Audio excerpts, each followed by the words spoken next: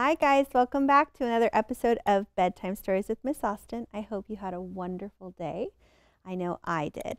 Tonight's story is I Wish You More by Amy Krouse Rosenthal and Tom Lichtenheld. And this story is all about what we wish for the people we love in our lives.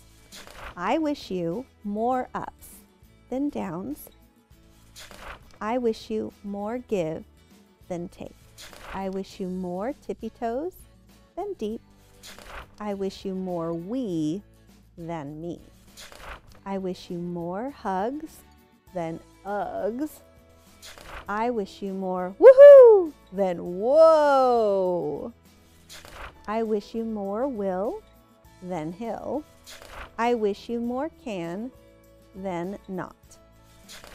I wish you more snowflakes than tongue.